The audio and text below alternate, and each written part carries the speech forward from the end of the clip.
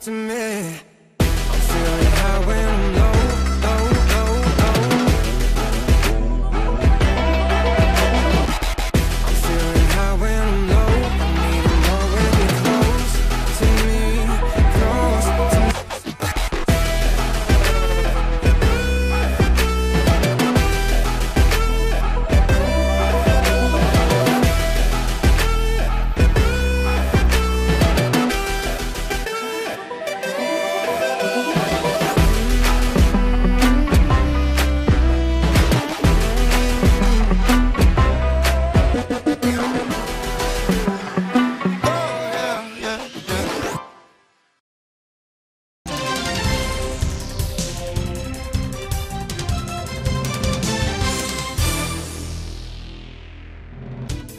A Palagonia il consiglio comunale è stato sciolto per mafia, decade anche il sindaco Astuti. A fine ottobre dello scorso anno il prefetto di Catania, Maria Carmela Librizzi, aveva disposto l'accesso ispettivo in municipio. Continua ad Adrano la rassegna estiva 2023. Ieri sera in una piazza Umberto gremita di gente si è tenuto il concerto degli Zero Assoluto. Ad Adrano ultimo appuntamento con espressioni d'arte mediterranea a Palazzo Bianchi, la lettura e il commento del quinto canto dell'inferno della Divina Commedia di Dante a cura del dottor Vincenzo Luca Borzì. A Biancavilla tutto pronto per la grande festa estiva in onore della Sacra Icona della Madonna dell'Elemosina. I festeggiamenti inizieranno venerdì 18 agosto e si concluderanno domenica 27 con la processione, prevista anche la presenza della reliquia del Beato Giudice Rosario Livatino. Giovedì 10 agosto fa tappa ad Adrano la via Francigena Fabaria. Alle 18 a Palazzo Bianchi la consegna delle mattonelle toponomastiche all'amministrazione comunale. Presentata a Motta Sant'Anastasia la candidatura al Consiglio Comunale per le prossime elezioni del 2024 di Giorgio Guglielmino, componente del movimento Andiamo Avanti. Scatta in estate l'emergenza sangue, difficoltà nel reperirne quantità sufficienti si registrano anche a Palermo. L'ospedale Cervello ha molta carenza di sangue soprattutto in questo periodo estivo. Aiutaci ad aiutare l'appello dell'associazione Linfa Rossa. L'assessorato regionale della famiglia e politiche sociali ha pubblicato l'avviso a sportello per il finanziamento del reddito di libertà rivolto alle donne vittime di violenza e ai loro figli. Potrà essere richiesto un contributo annuo non superiore a 10.000 euro per ciascuna donna.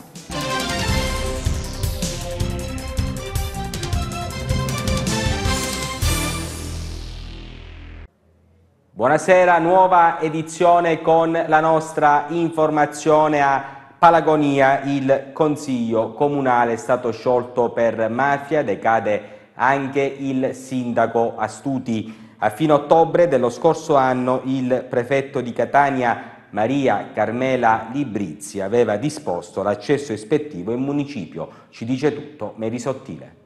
Il Consiglio Comunale di Palagonia è stato sciolto per mafia. A deciderlo il Consiglio dei Ministri su proposta del Ministro dell'Interno Matteo Piantedosi.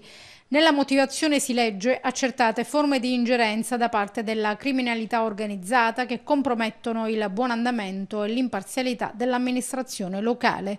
Il provvedimento ha una durata di 18 mesi, durante i quali si insedierà una commissione straordinaria del Viminale che prenderà il posto di giunta e consiglio comunale.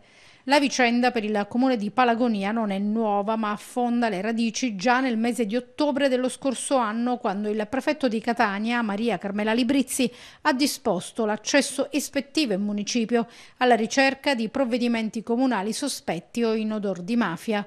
Anni tribolati, quelli che dal 2016 ad oggi hanno interessato il comune di Palagonia. Tutto è cominciato con l'omicidio del consigliere comunale Marco Leonardo, avvenuto il 5 agosto del 2016. Nonostante non è mai stato ufficialmente indagato, il suo nome era finito in un'inchiesta antimafia per gli incontri con il boss Alfonso Fiammetta. Il 23 agosto del 2017 a morire poi Francesco Calcagno, bracciante agricolo, accusato di essere il killer del consigliere comunale Marco Leonardo. Un altro esponente politico è finito nei guai poi nel 2018 nel mirino degli investigatori l'allora consigliere comunale Salvatore Mirone, trovato con una pistola non dichiarata conservata nella sua auto. Lo scorso anno, infine, a finire nel mirino degli investigatori è stato l'assessore Antonio Ardizzone, arrestato con l'accusa di concorso per l'omicidio del bracciante agricolo Francesco Calcagno, ammazzato nel 2017. Ardizzone, secondo gli investigatori, aveva fatto da tramite per trovare un killer per uccidere Calcagno e vendicare così la morte di Marco Leonardo, assassinato appunto da Calcagno. Lo scioglimento per mafia del Consiglio Comunale di Palagonia arriva a poche settimane di distanza da un provvedimento analogo emesso nei confronti del comune di Castiglione di Sicilia. Il boss mafioso Matteo Messina Denaro è stato ricoverato all'ospedale dell'Aquila a seguito dell'aggravarsi delle sue condizioni di salute. Enormi sono state le misure di sicurezza che hanno portato il trasferimento dal carcere dove si trova rinchiuso col 41 bis al nosocomio abruzzese dell'ultimo padrino di Cosa Nostra.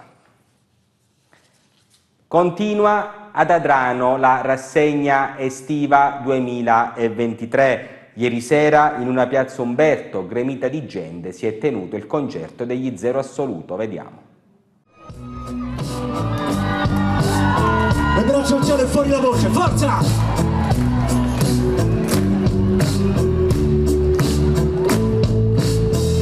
Arriverà qualcuno che si prenderà il mio posto allora io starò solo a guardare.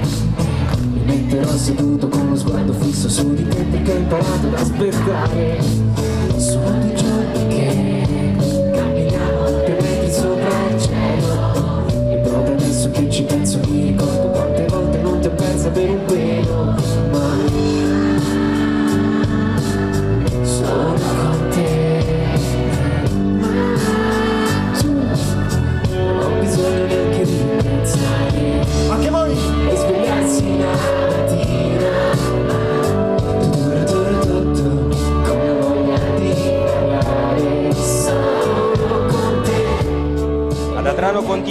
rassegna estiva 2023. Ieri sera in una piazza Umberto pullulante di gente si sono esibiti gli Zero Assoluto, gruppo pop formato dal duo Thomas De Gaspari e Matteo Maffucci. Per il duo romano si tratta di un déjà vu, si erano infatti già esibiti ad Adrano nel 2011. Gli Zero Assoluto hanno portato sul palco i loro più grandi successi, da semplicemente a svegliarsi la mattina fino a per dimenticare se parte di me e tanti altri pezzi del loro repertorio musicale, compresi gli ultimi singoli. Prima di salire sul palco per l'esibizione, gli Zero Assoluto si sono mostrati molto disponibili con i fans per foto, selfie e autografi, ma per dovere di cronaca non hanno voluto rilasciare nessuna intervista preconcerto alla stampa presente. Ecco comunque uno stralcio del concerto di ieri.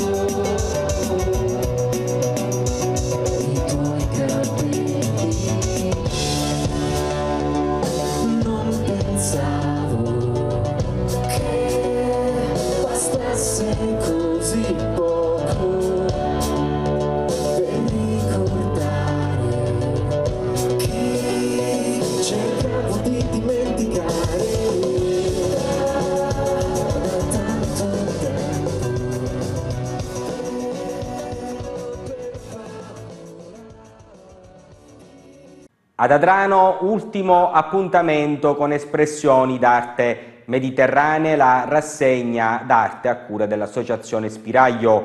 A Palazzo Bianchi la lettura e il commento del quinto canto dell'inferno dantesco a cura del dottor Vincenzo Luca Borzì. Sentiamo. Giù il sipario sulla mostra collettiva di pittura, scultura e fotografie, espressioni d'arte mediterranee, la rassegna a cura dell'Associazione Spiraglio che si è tenuta a Palazzo Bianchi ad Adrano.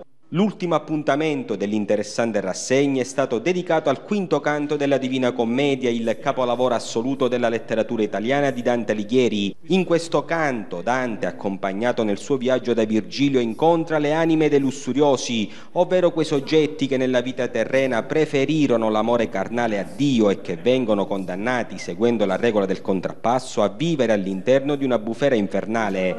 Tra i protagonisti del canto si ricordano tra gli altri le figure di Paolo e Francesca. A leggere e commentare questo canto è stato il dottor Vincenzo Luca Borzi che ai nostri microfoni spiega il perché di questa scelta.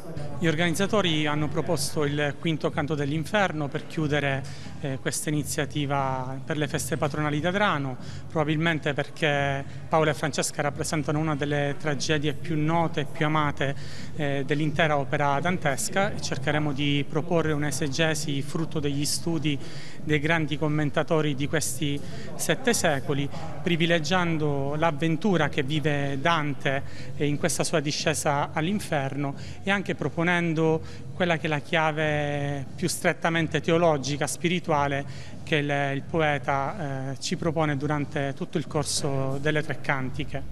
Se riusciremo a portare avanti questa iniziativa, anche grazie all'aiuto dei tre professori d'arte che accompagneranno questo studio con le loro tele, eh, potremmo puntare sui canti di Ulisse, Pier delle Vigne o il Conte Ugolino per quanto riguarda l'inferno, che sono quelli più noti e più amati dal pubblico, ma anche cercare di privilegiare eh, il paradiso e il purgatorio, cercando di proporre la loro conoscenza al pubblico.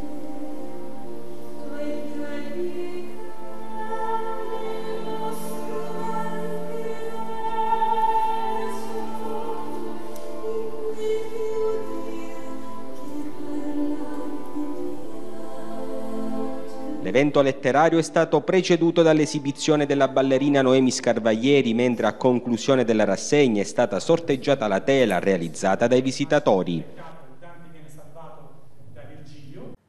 Ci spostiamo adesso a Biancavilla dove è tutto pronto per la grande festa estiva in onore della Sacra Icona della Madonna dell'Elemosina.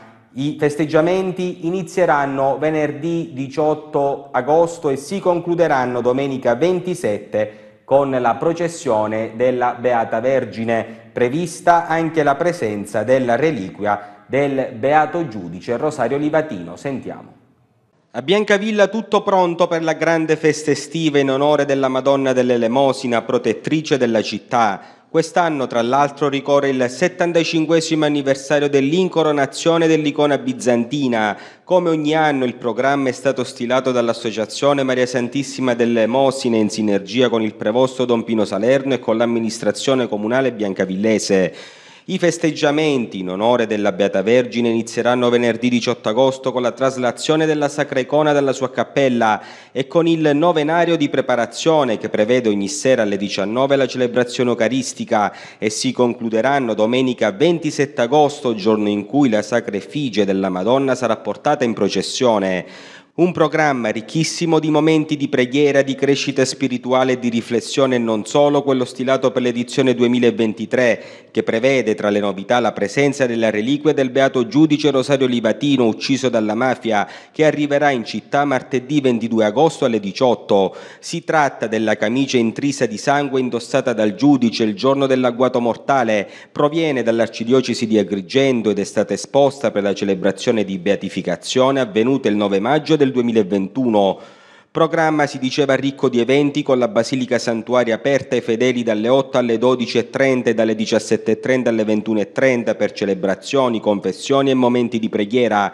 Tra gli appuntamenti da segnare in agenda la processione del Santissimo Sacramento di giovedì 24 agosto alle 20, il clou dei festeggiamenti domenica 27 agosto, alle 19 alla presenza di autorità civili e militari locali, regionali e nazionali la celebrazione eucaristica officiata da Monsignor Giuseppe Accolla, arcivescovo metropolita dell'arcidiocesi di Messina, Lipari e Santa Lucia del Mela, a concelebrare con Monsignor Accolla il clero locale con la partecipazione delle famiglie religiose di Biancavilla, delle varie confraternite cittadine, delle aggregazioni ecclesiali locali e della delegazione di Piana degli Albanesi. Alle 20.30, dopo l'omaggio floreale alla sacra icona del sindaco Antonio Bonanno, la breve processione dell'icona della Vergine Maria. A conclusione lo spettacolo pirotecnico. Da segnalare inoltre sabato 26 agosto alle 20.30 l'inaugurazione del tappeto di arte effimera realizzato in omaggio alla Madonna dell'Elemosina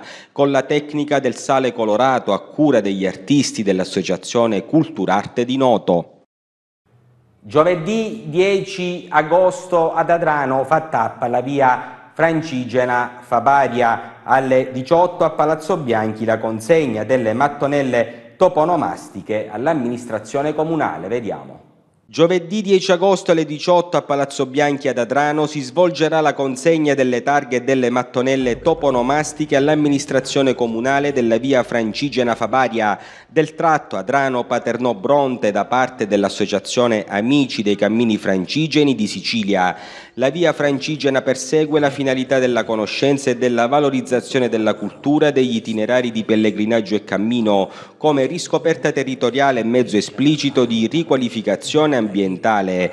Suggestivo il tratto Adranita dal Castello Normanno si raggiunge Bronte uscendo dal tratto abitato attraverso via San Paolo, quindi ci si immetterà nel tratto boschivo di Monte Minardo e di Piano dei Grilli. Alla cerimonia di consegna delle targhe sarà presente il presidente delle vie francigene di Sicilia, Davide Comunale. Con un'ordinanza sindacale il sindaco di Adrano Fabio Mancuso ha disposto la chiusura degli uffici comunali di via Aurelio Spampinato dei locali dell'ex pretura della Biblioteca Comunale di Palazzo Bianchi per lunedì 14 agosto. Nei locali comunali in questione verranno effettuati interventi di disinvestazione. Presentata a Motta Santa Anastasia la candidatura al Consiglio Comunale per le prossime elezioni del 2024 di Giorgio Guglielmino, componente del movimento Andiamo Avanti. Sentiamo. A Motta Sant'Anastasia è stata presentata la candidatura al Consiglio Comunale per le prossime elezioni del 2024 di Giorgio Guglielmino, imprenditore e manager, componente del movimento Andiamo Avanti che ha organizzato un incontro a cui hanno assistito oltre 200 persone all'Hotel Valle degli Ulivi. Il gruppo politico in questione appoggia la candidatura a sindaco di Daniele Capuana, non ancora confermata dal diretto interessato. Per l'occasione Guglielmino ha annunciato quali sono le proprie idee per il territorio mottese e le ragioni che l'hanno spinto a scendere in campo. Inizia un, un nuovo tassello del progetto Andiamo Avanti.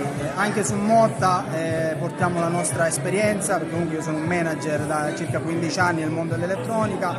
Siamo convinti che quello che è stato fatto nei comuni eh, di Belpasso, ma anche negli altri comuni di Paternò e nella zona limitrofa, possa essere fatto a Motta. Motta è un comune che ha tantissime possibilità, tantissime sbocchi sia con gli americani sia nella zona industriale.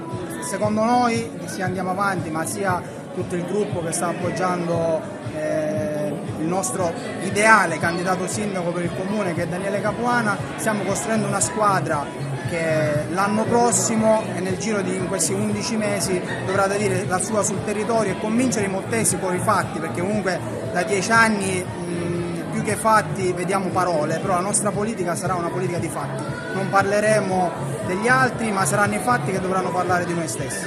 Venendo dal mondo, eh, essendo un manager, sicuramente il, la parte del commercio è il mio pane quotidiano, però comunque eh, ci sono tutta una serie di punti che abbiamo già toccato con Daniele e metteremo nel nostro programma elettorale che quindi sia da, dalla rivedere il discorso dell'acquedotto perché è impossibile che oggi nel 2023 un paese resta senza acqua, eh, dal decoro urbano, da tantissimi altri aspetti eh, che questo paese ha bisogno, da rilanciare la zona industriale che non esiste, uno sport che non esiste su questo paese, degli spazi anche per i bambini, le scuole, c'è tanto da fare, ecco, è inutile eh, dirlo oggi a un anno di anticipo, ci stiamo muovendo, tanti dicono perché siete partiti un anno prima, siamo partiti un anno prima perché per fare un lavoro, un determinato tipo di lavoro ci vuole tempo, bisogna costruirlo e, e arrivare già a maggio con le idee pronte perché se partiamo a maggio dell'anno prossimo ci vorrà un anno di mandato in caso di vittoria, che è quello che ci auguriamo,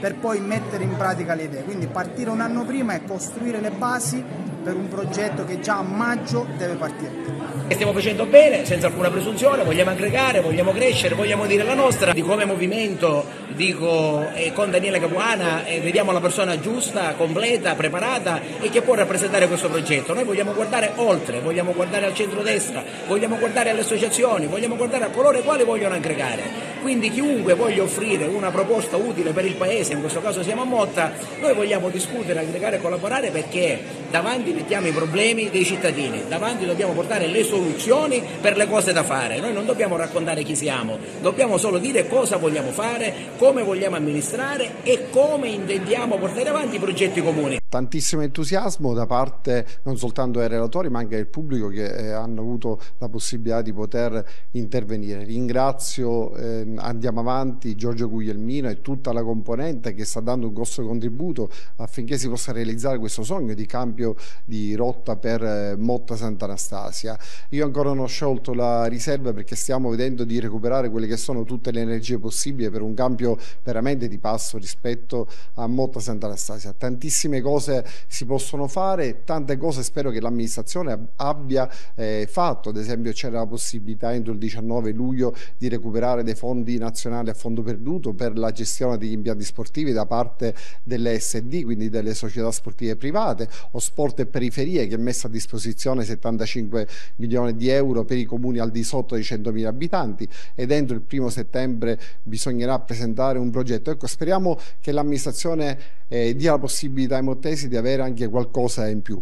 Poi noi faremo, spero, eh, ritengo anche eh, tramite il contributo di tutti i mottesi la nostra parte, ma non soltanto eh, con l'idea ma anche attraverso i fatti. Abbiamo avuto la possibilità di interloquire anche col Ministro degli Esteri tramite l'assessore Falcone per recuperare veramente un rapporto eh, con gli americani. Spero che Motta abbia fatto la domanda anche per la messa in sicurezza del NEC sotto il castello. Ecco, io ritengo che ci sia un paese veramente eh, da portare avanti, da cambiare passo e perché no mandare fuori la vecchia politica, il vecchio modo di fare politica. C'è un paese fermo da più di 30 anni, quindi per noi non è un problema questa amministrazione o quella precedente, è il modo di fare politica che non ci piace, che vorremmo assolutamente cambiare, sia con un'amministrazione diversa, ma anche con un consiglio comunale che possa servire non per diciamo, tenere la seggiola, ma per dare un impulso maggiore alle istituzioni mottese. Questo dovrebbe essere il ruolo dei consiglieri comunali, ma anche di una nuova amministrazione.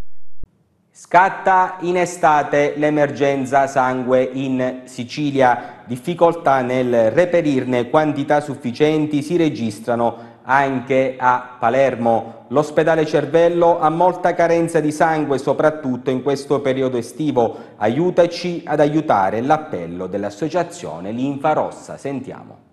Aiutaci ad aiutare è l'appello lanciato dall'Associazione Linfa Rossa Donatori di Sangue di Palermo. La stagione estiva infatti è il periodo dell'anno in cui a causa delle meritate vacanze e del conseguente cambiamento delle abitudini dei donatori si registra una maggiore carenza di sangue e l'estate 2023 sembra non fare eccezione.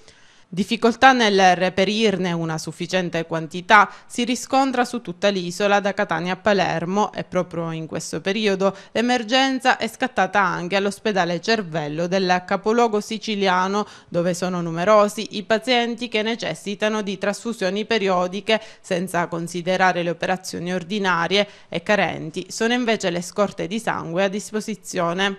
Proprio in questo contesto l'associazione Linfa Rossa ha voluto lanciare l'appello Aiutaci ad aiutare, invitando chi può a diventare donatore e indicando quindi i tre semplici passi da seguire.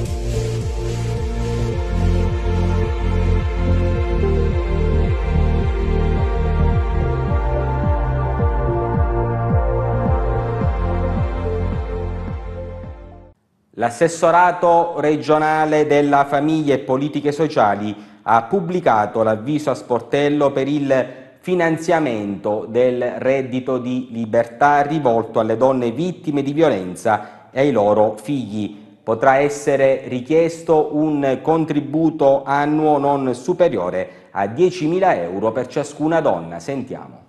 L'assessorato regionale della famiglia e politiche sociali Nuccia Albano ha pubblicato l'avviso a sportello per il finanziamento del reddito di libertà rivolto alle donne vittime di violenza e ai loro figli al fine di favorire l'affrancamento dalla situazione di violenza e favorirne l'indipendenza economica, l'occupabilità o la creazione di un'attività d'impresa.